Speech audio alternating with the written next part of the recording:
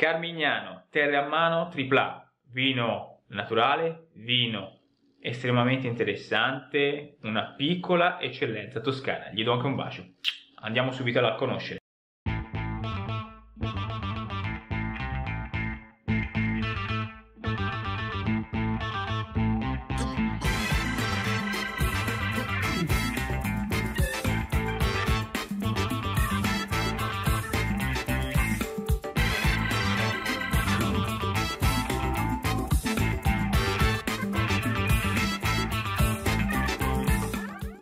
Oggi bellissimo vino, bellissimo vino toscano, anche abbastanza famoso, si conosce bene, un vino che a me piace particolarmente perché rappresenta la terra, un vino maschio, un vino eh, molto molto di carattere. Di cosa sto parlando? Del Carmignano di Terre a Mano. Car- eh, Carmignano Terre a Mano è composto da Sangiovese, Canaiolo e Cabernet Sauvignon.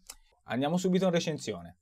Ciao a tutti, eccola qua, Terramano Carmignano, questo è l'anno 2015, un'ottima eccellenza toscana, come abbiamo detto eh, nella, nella presentazione del vino, un vino bello che si abbina alla nostra cucina, che può veramente dirci tanto. Andiamo subito alla recensione.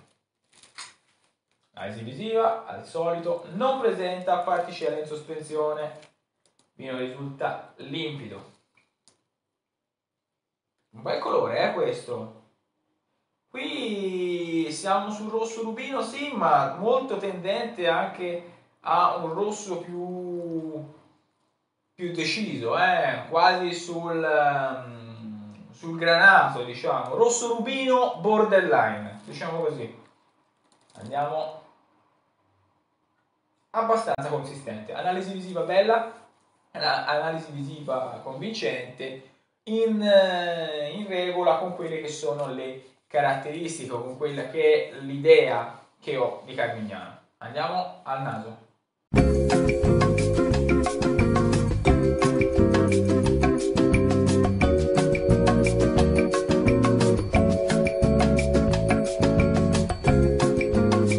Vino che risulta abbastanza intenso, abbastanza complesso, abbastanza fine. Siamo molto sull'abbastanza. C'è una mm, nota abbastanza forte a livello alcolico.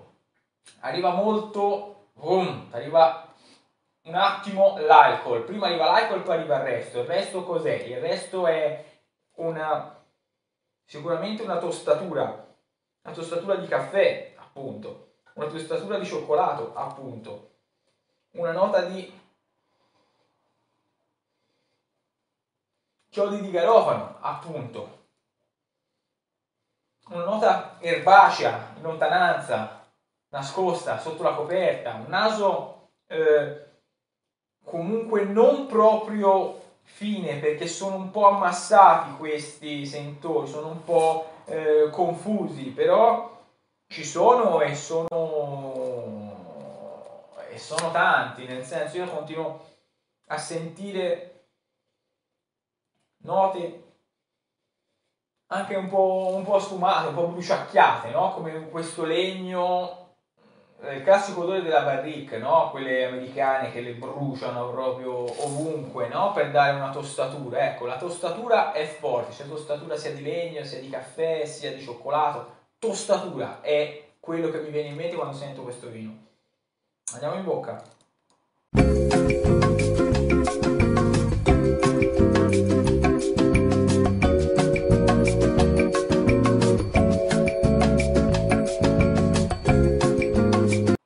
Vino secco, vino abbastanza caldo, abbastanza morbido.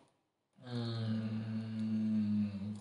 poco fresco, poco fresco, abbastanza tannico, ha una stringenza nella media, non la stavo valutando perché quella come sapete viene dopo, no? La stringenza veloce è quello che si sente in bocca dopo, diciamo la, la, la secchezza okay, che si genera in bocca dopo, dopo il sorso, quindi sentiamo qua serva le gengive, sentiamo una salivazione rallentata, sentiamo un po' la, la bocca che diventa un po' più pesante. Ecco, questa è abbastanza tanico tendente al tanico, quindi questa è una caratteristica che si abbina molto bene alla, alla succosità no? Del, degli, degli, elementi che poi andiamo a, a unirci per quel che riguarda il cibo. Comunque, continuiamo.